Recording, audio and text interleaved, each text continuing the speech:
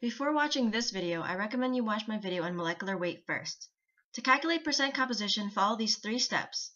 Calculate the molecular weight of the component with which you are calculating percent composition for. Calculate the total molecular weight of the compound using the given atomic masses of each element from the periodic table. Then divide the molecular weight of the component by the total molecular weight and convert to a percentage.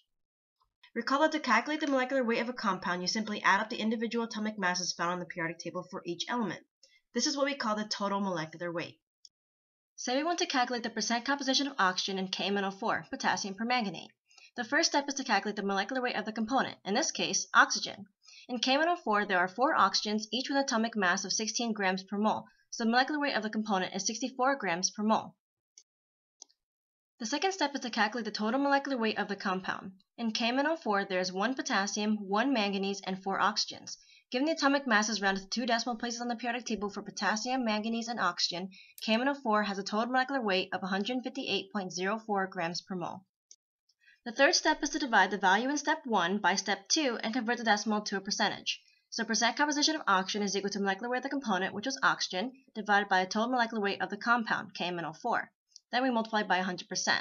Plugging in our values, we have 64 grams per mole on top, 158.04 grams per mole at the bottom, multiplying by 100%, and we get 40.50% oxygen.